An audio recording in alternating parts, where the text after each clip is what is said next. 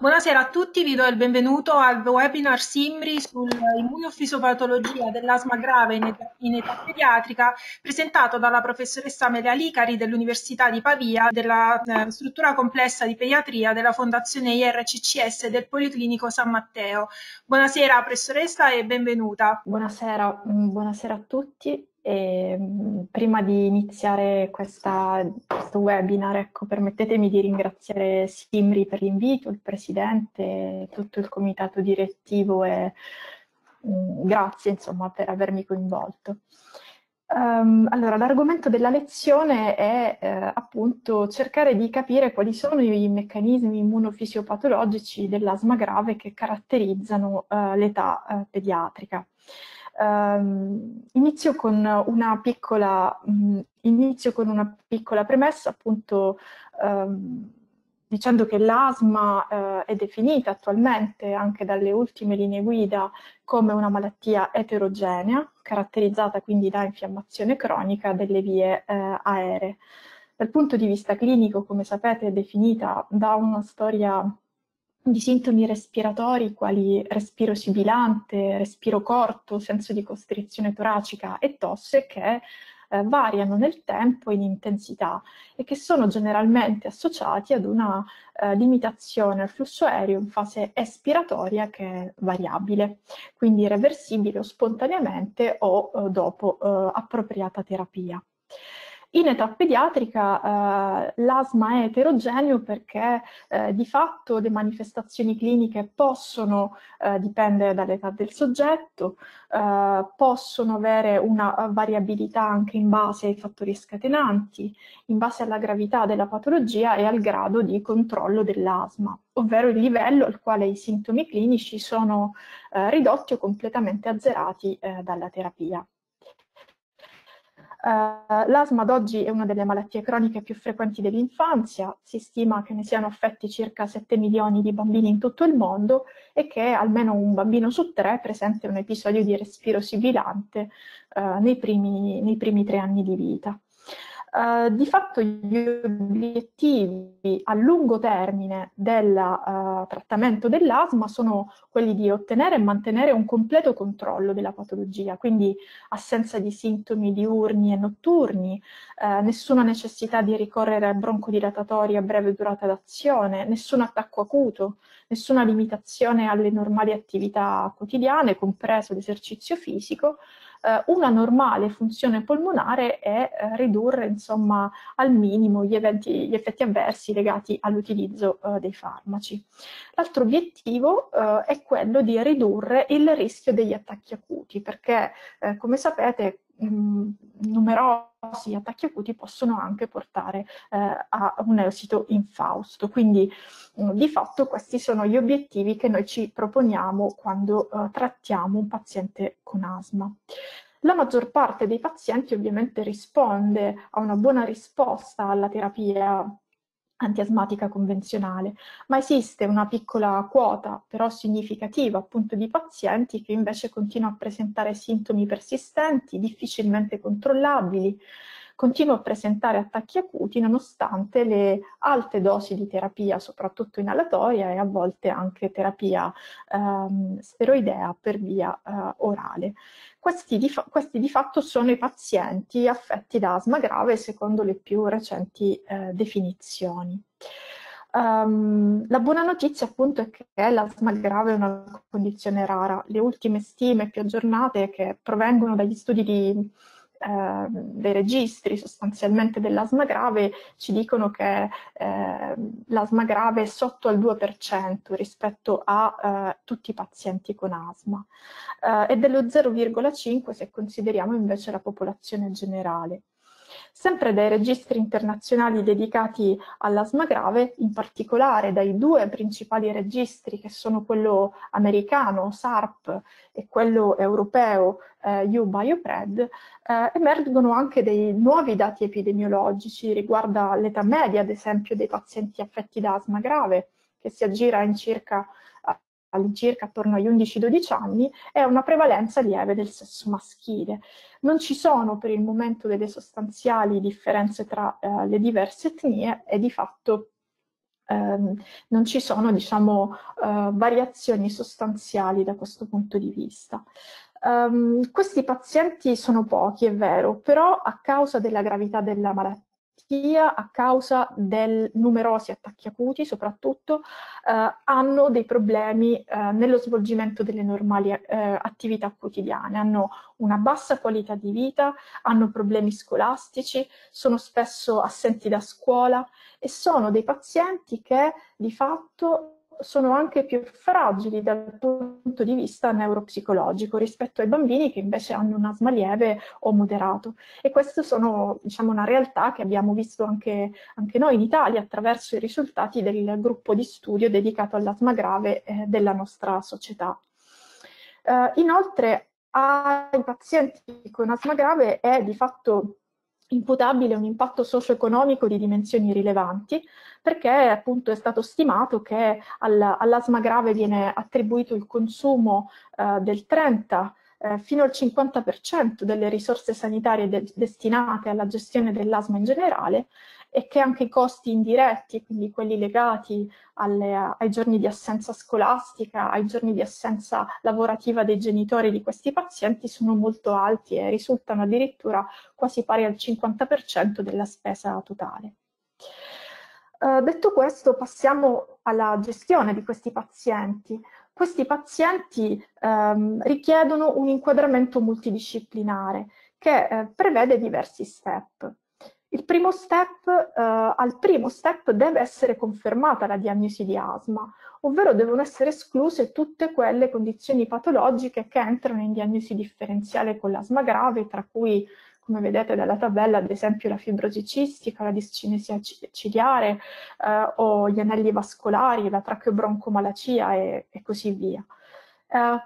L'inquadramento multidisciplinare viene fatto attraverso tutta una serie di esami che sono ormai codificati nella pratica clinica e quindi com diciamo, comprendono una valutazione pneumologica con la spirometria, l'esecuzione del test di broncodilatazione, l'inquadramento allergologico, l'esecuzione di eh, esami eh, radiodiagnostici come la radiografia, come la TAC del torace ad alta risoluzione e tutta una serie di esami appunto che ci permettono di escludere le patologie ehm, che mimano l'asma grave come il test del sudore, l'analisi genetica per la fibrosi cistica, il dosaggio dell'ossido nitrico nasale e le biopsie e gli esami eh, sulla funzionalità delle ciglia dell'apparato respiratorio, le indagini immunologiche che ci permettono di escludere alcuni tipi di immunodeficienze che possono manifestarsi con sintomi respiratori e eh, fino ad arrivare poi a... Um, le metodiche diagnostiche che poi vedremo eh, ci hanno permesso di capire meglio qual è eh, la fisiopatologia, l'immunofisiopatologia dell'asma grave, quali la broncoscopia, con l'esecuzione del lavaggio eh, broncoalveolare.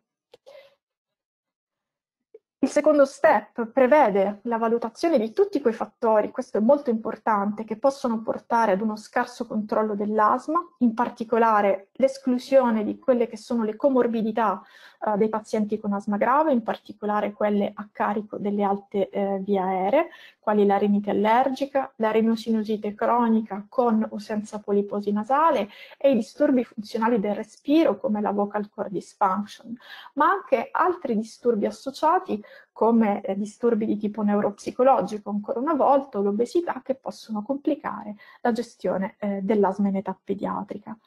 E sempre nello stesso momento, oltre alla valutazione delle comorbidità, è fondamentale valutare l'aderenza terapeutica, che è un altro um, momento importante della gestione di questi pazienti, perché nella maggior parte dei casi ci si accorge che eh, appunto nel 50% dei pazienti quasi eh, c'è un incompleto controllo legato ad una ridotta aderenza o a una uh, errata tecnica inalatoria. Infine, eh, i pazienti con sospetto asma grave, comunque con uh, asma difficile da trattare, devono essere caratterizzati caratterizzati in base al fenotipo sicuramente clinico, ma anche al fenotipo infiammatorio, ovvero il cosiddetto endotipo, eh, ovvero bisogna caratterizzare questi pazienti sulla base dei meccanismi che sostengono l'infiammazione bronchiale e tutto questo è proprio eh, mirato a eh, diciamo, ottenere una, um, una via per una terapia personalizzata. Uh, sulla base dei dati sempre ottenuti dai registri per l'asma grave, questo è molto importante, sono stati mh, caratterizzati questi pazienti. Questi pazienti sono stati caratterizzati sulla base delle caratteristiche cliniche, vedete la durata dei sintomi, eh, l'utilizzo di risorse sanitarie, la funzione polmonare, i fattori scatenanti, la frequenza degli attacchi acuti, la sensibilizzazione allergica, eh, la risposta al trattamento. E quindi queste caratteristiche insieme costituiscono quelle che sono le manifestazioni osservabili della patologia, ovvero il cosiddetto fenotipo. E quindi sulla base di questi dati, in particolare nel, nell'ambito dell'asma ad esordio precoce, quello tipico dei, appunto dell'età pediatrica, la maggior parte dei pazienti con asma grave presenta una spiccata sensibilizzazione ai comuni allergeni respiratori, quindi allergeni perenni come acari e micofiti, una normale funzione eh, respiratoria e ha nella maggior parte dei casi associato delle comorbidità, principalmente una malattia renosinusale, eh, l'obesità e il reflusso gastroesofageo. Uh, questi bambini presentano una normale funzionalità respiratoria con un'ostruzione al flusso aereo che è tipicamente reversibile. Una minoranza invece di pazienti che vedete nel riquadro verde eh, presenta invece una ostruzione bronchiale che è parzialmente reversibile, non ha un profilo di comorbidità eh, importante ed è generalmente un gruppo di pazienti che è esposto, si trova esposto al fumo passivo. Esiste poi un altro piccolo gruppo di pazienti con asma grave e esordio precoce che non ha sensibilizzazioni allergiche e che invece presenta uh, un declino um, uh, precoce della funzionalità polmonare. Questa classificazione fenotipica è molto importante, ci consente di inquadrare alcuni dei nostri pazienti, quasi la maggior parte dei nostri pazienti anche nella nostra pratica, però non ci consente da sola di selezionare questi pazienti per una terapia biologica eh, mirata eh, e non ci consente neanche di predire l'efficacia di questa terapia biologica, per cui è proprio la necessità di comprendere quali sono i meccanismi cellulari e molecolari dell'asma grave che ha portato a ottimizzare poi l'approccio terapeutico. Quello che si fa adesso è quindi quello, diciamo, l'endotipizzazione, ovvero la caratterizzazione di quelle che sono le due componenti immunofisiopatologiche dell'asma grave, ovvero l'infiammazione da un lato e il rimodellamento bronchiale dall'altro. Questa caratterizzazione può essere fatta in modo diretto, e questo lo vedremo tra poco nei diversi studi eh, che, ci hanno permesso di avere diciamo, questo avanzamento di conoscenze che utilizzano l'endoscopia, l'esecuzione delle biopsie e l'analisi del liquido di lavaggio bronchiale per caratterizzare in modo diretto l'infiammazione bronchiale,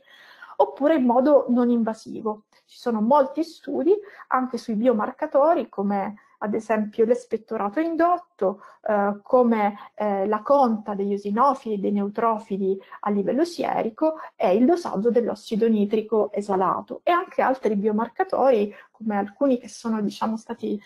più frequentemente studiati come ad esempio la periostina.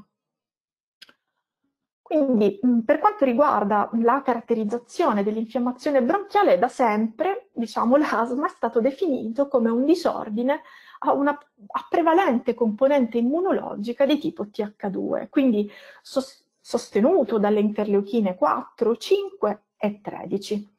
Uh, eh, recenti studi, appunto, che però sono stati eseguiti proprio su bambini e adolescenti affetti da asma grave e che sono stati sottoposti a endoscopia bronchiale con analisi del liquido di lavaggio broncoalveolare, hanno mostrato come è possibile riconoscere due principali endotipi infiammatori, il cosiddetto tipo 2 o T2 high eh, e il T2 eh, low o non tipo 2. Entrambi questi eh, endotipi sono classificabili in base al tipo di infiammazione. Il tipo 2 in eosinofilica, allergica e non allergica, il non tipo 2 in infiammazione a prevalenza neutrofilica, mista e pauci granulocitica. Questo è proprio uno studio che ha preso in considerazione i pazienti con asma grave, quindi entriamo già nella caratterizzazione diretta dell'infiammazione. Nel modello cosiddetto T2 high, quindi nell'asma di tipo 2, eh, i principali drivers dell'infiammazione osinofila sono rappresentati dai linfociti TH2, ma anche da un'altra eh, componente cellulare che appartiene sempre ai linfociti ma che fa parte dell'immunità innata e non dell'immunità adattativa, che sono le cellule innate linfoidi di tipo 2. La caratteristica di queste cellule che la differenzia dai linfociti TH2 è il fatto che non posseggono dei recettori di riconoscimento per gli antigeni e quindi la loro attivazione è molto più rapida rispetto a quella dell'immunità adattativa e quindi dei linfociti TH2 e rispondono in modo veloce, diciamo, eh, a, a stimoli provenienti dai tessuti. Questi stimoli sono generalmente stimoli di tipo citochimico che adesso, che adesso poi vedremo. Quindi queste cellule di fatto orchestrano l'infiammazione nell'asma di tipo 2 attraverso diverse citochine. Le citochine prodotte sono l'interleuchina 5, che dopo un legame con uno specifico recettore di fatto ehm, stimola eh, la mobilizzazione midollare dei, eh, degli osinofili, ne aumenta il reclutamento a livello dei tessuti eh, respiratori, dei tessuti bronchiali e ne aumenta anche la sopravvivenza a livello polmonare e a livello bronchiale. Gli osinofili attivati eh, poi contribuiscono al danno dell'epitelio bronchiale attraverso il rilascio di eh, proteine, quali la proteina cationica eosinofila, la proteina basica maggiore, i cristalli di Charcot-Leyden, e vanno a danneggiare direttamente l'epitelio bronchiale.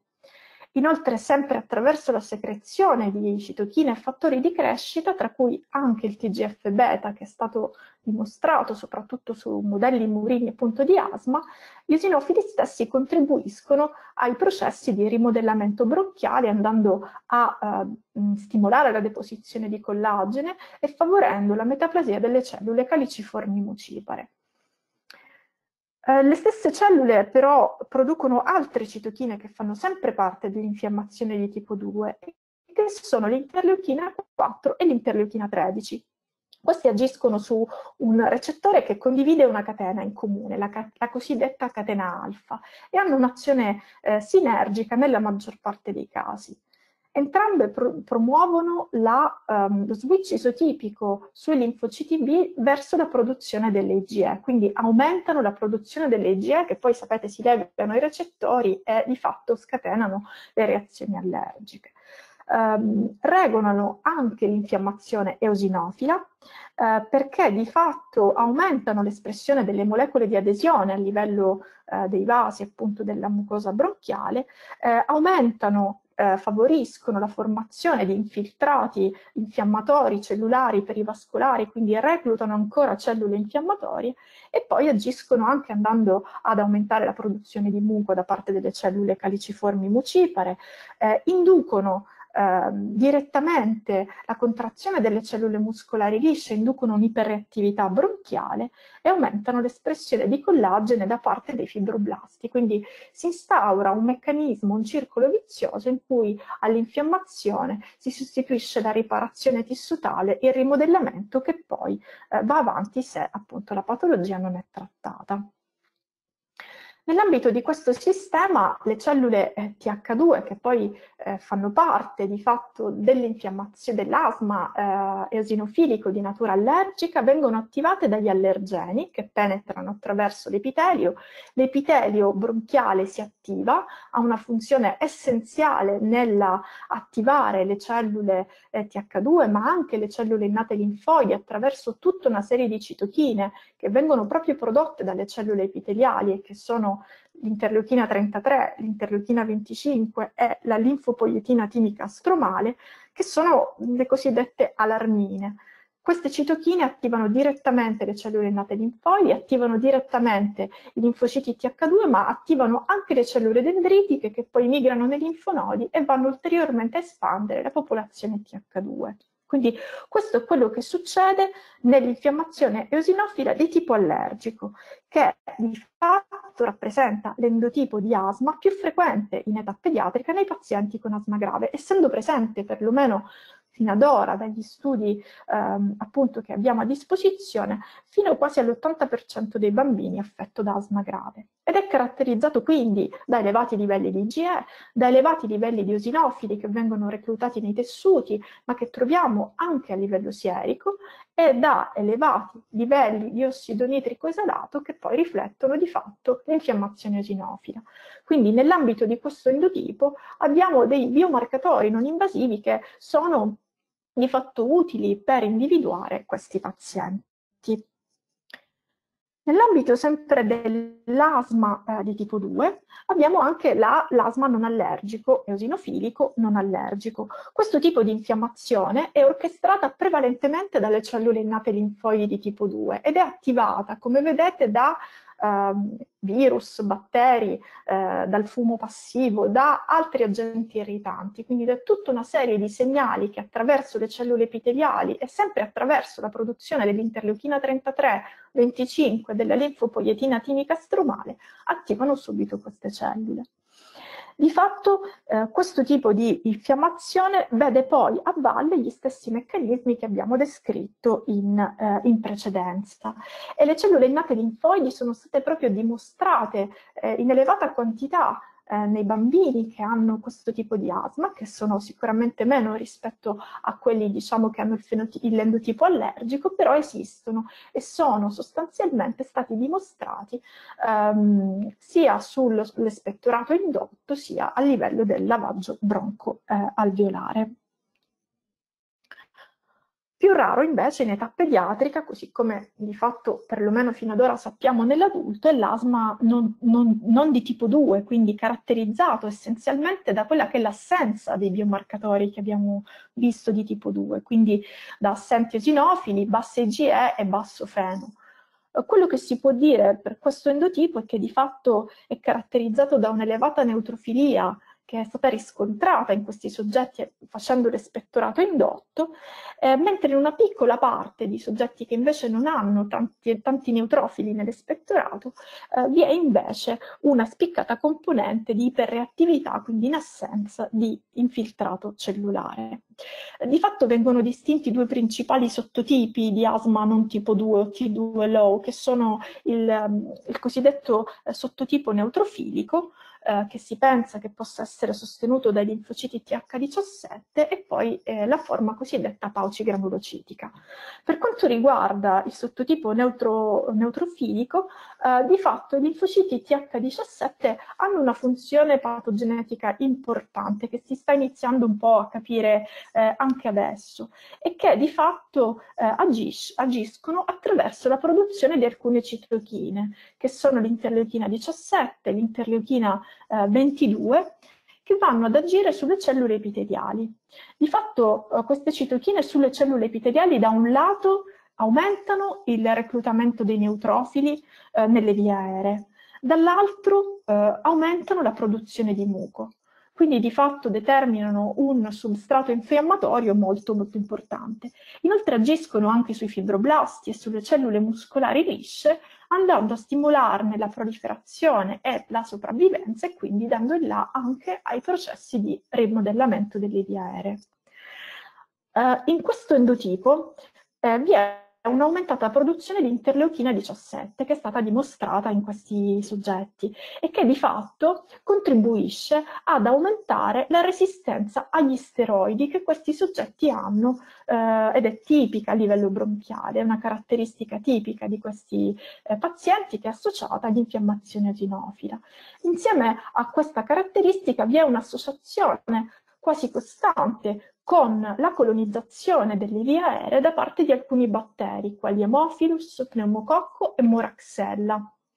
E questa colonizzazione batterica in alcuni soggetti, nella maggior parte diciamo, dei soggetti, è associata ad una maggiore gravità dell'ostruzione, quindi ad un basso FEV1. Questo però non è sempre vero, perché ci sono alcuni studi che sono stati proprio eseguiti su bambini affetti da asma grave che dimostrano come un'elevata presenza di linfociti intraepiteliali, eh, scusate, di neutrofili intraepiteliali sia invece associata ad una funzione polmonare che non è peggiore, comunque è migliore rispetto a quelli che hanno dei bassi neutrofili. Quindi mh, da questo punto di vista probabilmente andrà chiarito meglio qual è il ruolo dei neutrofili eh, nell'ambito dei bambini con, eh, con, asma grave e anche nella patogenesi in generale dell'asma grave, perché il loro ruolo è piuttosto controverso. Queste cellule di fatto da un lato abbiamo visto come hanno una spiccata capacità pro-infiammatoria, sono in grado di determinare un danno tissutale diretto con la produzione di metalloproteinasi, serine proteasi, specie reattive dell'ossigeno, quindi hanno un'azione diretta dannosa sulle vie aeree. Dall'altro però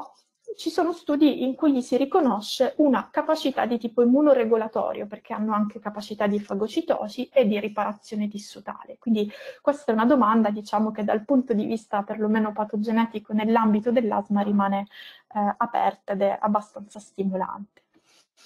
Per quanto riguarda poi il sottotipo pauci granulocitico, che è quello caratterizzato da bassi infiltrati cellulari e da spiccata iperreattività dei bronchi, di fatto non si conoscono bene i meccanismi, non ci sono molti studi perché sono veramente pochissimi pazienti, si pensa che possono essere implicati eh, elevati livelli di stress ossidativo e alcune ipotesi più recenti eh, ipotizzano un ruolo anche di alcuni recettori eh, calciosensibili che sarebbero responsabili di una spiccata iperreattività dei bronchi. Questo è quello che conosciamo sulla prima componente della, diciamo, immunopatologica dell'asma grave, che è l'infiammazione bronchiale.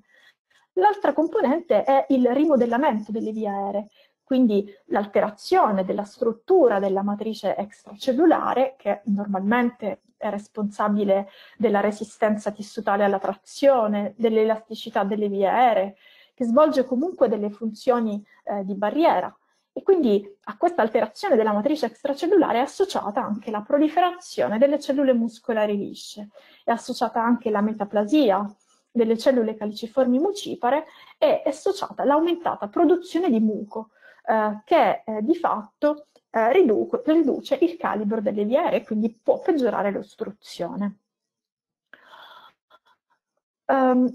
per quanto riguarda l'asma di tipo 2, il type 2 high, di fatto si pensa, l'ipotesi patogenetica principale sostiene che le alterazioni strutturali a carico della parete bronchiale che sostengono il rimodellamento siano una diretta conseguenza eh, dell'infiammazione osinofila e questo è stato dimostrato in diversi studi. Eh, nell'asma type 2 low, quindi nell'asma non di tipo 2, non abbiamo ancora diciamo, le idee chiare, ma ci sono alcuni studi che ipotizzano che queste alterazioni strutturali bronchiali possono essere legate in primis a un difetto intrinseco di barriera oppure ad un insulto diretto eh, a livello epiteliale. Eh, entrambi questi tipi di eh, diciamo, eh, difetti andrebbero a distruggere le giunzioni strette che legano le cellule epiteliali. Le, la distruzione delle tight junction andrebbe sostanzialmente a determinare una produzione incontrollata di TGF-beta, oltre che ovviamente a eh, allargare le maglie della barriera bronchiale quindi a permettere l'ingresso degli allergeni e peggiorare l'infiammazione, comunque andrebbe a produrre una produzione, diciamo ad avere una produzione incontrollata di TGF-beta che eh, poi è alla base di quella che è la trasformazione fenotipica delle cellule eh, epiteliali in cellule mesenchimali, quindi si andrebbe ad alterare proprio ehm, il fenotipo eh, cellulare. Um, uno studio molto recente che è stato eseguito in soggetti asmatici sia adulti ma anche pediatrici che sono stati sottoposti a endoscopia bronchiale e che durante la procedura ehm, in seguito a biopsia è stata analizzata con una microscopia diretta, proprio la, la, la biopsia appunto dei bronchi, eh, ha dimostrato come in questi soggetti affetti da asma grave, sia adulti che pediatrici, esiste un sovvertimento dell'architettura della matrice extracellulare.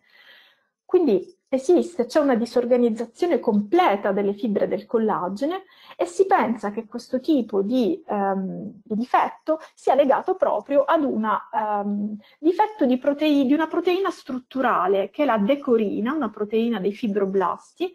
eh, e che di fatto sembrerebbe essere presente come difetto sia a livello delle, eh, delle grandi vie aeree sia a livello delle piccole vie, quindi sarebbe un difetto strutturale che potrebbe alla base essere ehm, diciamo, eh, utile per eh, capire la patogenesi del rimodellamento bronchiale.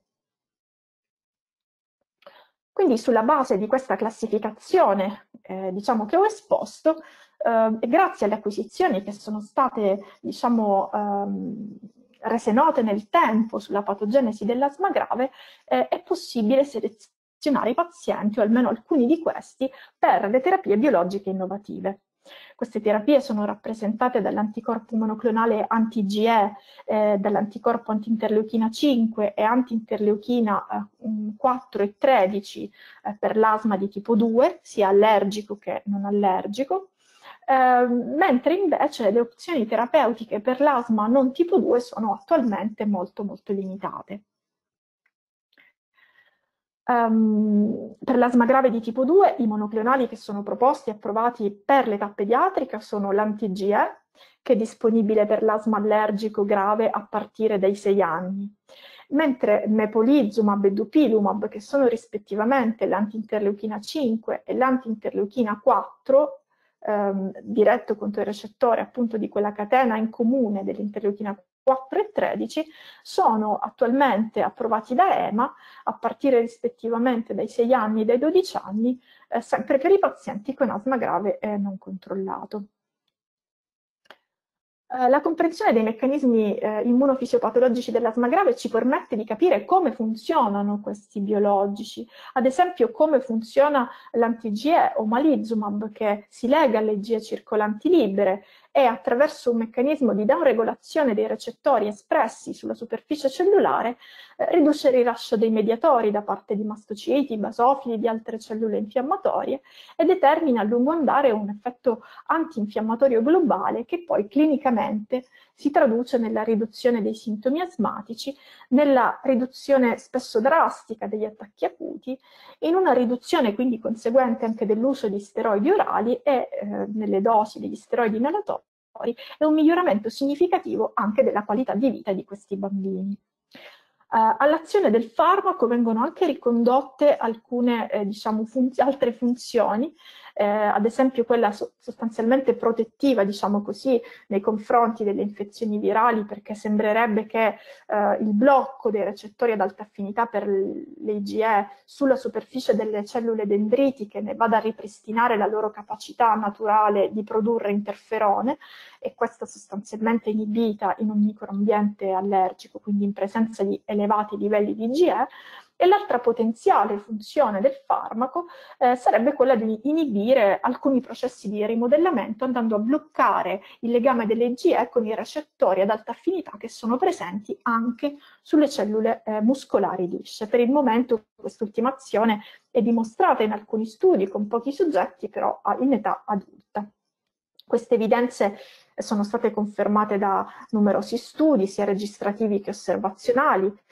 tra cui anche quello appunto italiano eh, che è stato coordinato dalla nostra università, in cui è dimostrato oltre ad una significativa riduzione degli attacchi acuti già dopo i primi sei mesi di terapia, anche uno risparmio nei corticosteroidi inalatori e un lieve miglioramento nella funzionalità respiratoria. Uh, di questo farmaco si, pro, si conoscono, eh, diciamo, abbiamo un'esperienza sia in letteratura che clinica maggiore rispetto agli altri. Di fatto sono stati proposti alcuni biomarcatori, tra cui eh, l'ossido nitrico esalato superiore a 20 parti per bilione, eh, il livello degli eosinofili sierici superiori a 260 cellule per microlitro e elevati livelli di periostina. Eh, questi biomarcatori ci consentono in alcuni casi di avere, diciamo, di predire una risposta positiva, però sono, eh, diciamo, eh, stati estrapolati da studi eseguiti prevalentemente su adulti, solo eh, alcuni di questi studi sono stati eseguiti su, eh, sui bambini e anche le nuove linee guida aggiornate dell'ERS, della Società Europea di, Mal di Malattie Respiratorie, eh, propone appunto questi biomarcatori per il farmaco. Per quanto riguarda il profilo di sicurezza abbiamo dei dati molto eh, importanti anche per l'età pediatrica, possiamo affermare che di fatto ha un buon profilo, gli eventi avversi sono eh, di tipo lieve o moderato e i più frequenti sono rappresentati da faringite, infezioni delle alte vie aeree e reazioni locali nel sito eh, di infezione e in alcuni casi sono state segnalate anche un'aumentata suscettibilità alle infestazioni parassitarie. E per quanto tempo prolungare la terapia è ancora una domanda aperta, e anche se in letteratura comunque sono presenti eh, alcuni studi, tra cui questo che vi mostro, che è quello del gruppo francese, eh, che di fatto propone di continuare la terapia con anti-IgE per almeno due anni consecutivi e di ehm, provare a sospenderla se il paziente presenta una situazione clinica stabile, quindi in assenza di attacchi acuti da almeno un anno, e con una malattia allergica sottostante non attiva, ovvero definita da bassi livelli di esinofili, ancora una volta, e bassi livelli di ossido nitrico esalato. Comunque, proprio perché questa domanda di fatto ancora è aperta, non abbiamo una risposta,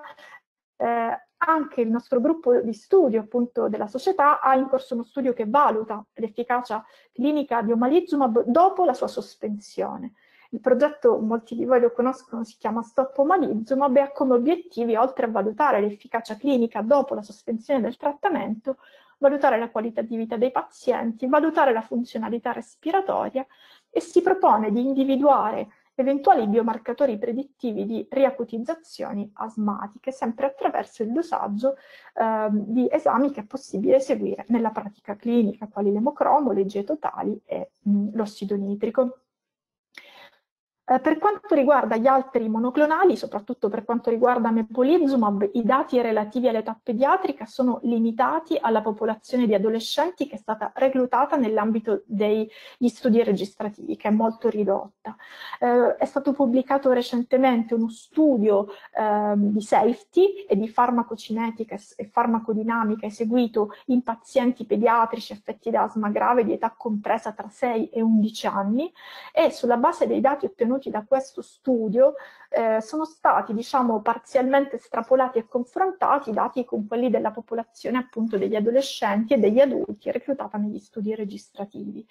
Da questo confronto ne deriva comunque un buon profilo di efficacia sulla riduzione degli attacchi acuti e un miglioramento del controllo dell'asma, e eh, di fatto si evince anche un buon profilo di sicurezza anche per l'età pediatrica con eventi avversi più frequenti rappresentati da cefalea e infezioni respiratorie.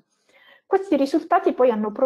portato all'approvazione del farmaco da parte di EMA a partire dai 6 anni ad un dosaggio eh, di 40 mg sottocute ogni, ogni 4 settimane, mentre attualmente in Italia, come sapete, è rimborsabile solo a partire dai 12 anni eh, al dosaggio di 100, eh, scusate, dai 18 anni a partire eh, dal dosaggio di 100 mg. Uh, anche per quanto riguarda uh, il nuovo monoclonale anti-interleuchina uh, 4 e 13 eh, dupilumab, che va proprio a bloccare in modo duplice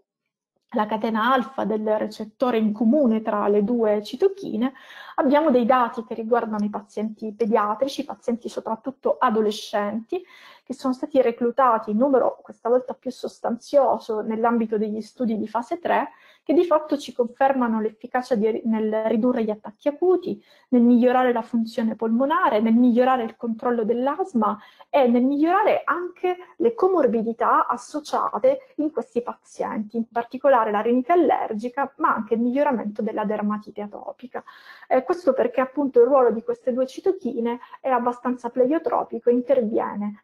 nell'ambito dei meccanismi infiammatori di tipo 2 anche in altre patologie di tipo immunoallergico. Um, sono in corso per il dupilumab i trial dedicati specificamente all'età pediatrica, di cui aspettiamo ovviamente i risultati, ma sia per dupilumab che per mepolizumab non abbiamo al momento biomarcatori, non conosciamo l'efficacia e la sicurezza a lungo termine sulla popolazione pediatrica. Infine un'ultima riflessione, questa è l'ultima diapositiva. Mentre negli adulti abbiamo alcuni algoritmi, diciamo, pratici per la selezione dei biologici, anche se non sono, diciamo, universalmente condivisi, ma possono essere usati nella pratica clinica, come quello eh, che vi propongo della, della Società Europea di Malattie Respiratorie, questo non si può dire per i bambini. Per cui di fatto aspettiamo eh, con ansia diciamo, i risultati di alcuni studi molto importanti che sono appena partiti, come quello inglese, eh, il TRIT trial, che valuterà in modo comparativo l'efficacia di omalizumab e mepolizumab in aperto in una popolazione di pazienti pediatrici con asma grave resistente alla terapia. E eh, ci aspettiamo che ovviamente nel prossimo futuro una più approfondita conoscenza dei meccanismi immunofisiopatologici dell'asma grave possa dare delle risposte alle tante domande ancora aperte per migliorare la gestione clinica e terapeutica di questi pazienti, in particolare che possa portare a delle terapie mirate eh, che sono diciamo, l'arma più innovativa a nostra disposizione, eh, ricordando però che il loro utilizzo deve essere necessariamente supportato da evidenze forti di efficacia soprattutto di sicurezza nella popolazione pediatrica. Grazie allora, saluto tutti, ringrazio per avermi ascoltato e grazie ancora a Simri per avermi invitato. Grazie a lei per averci dedicato il suo tempo e per la splendida presentazione. Grazie mille e grazie a tutti per la partecipazione.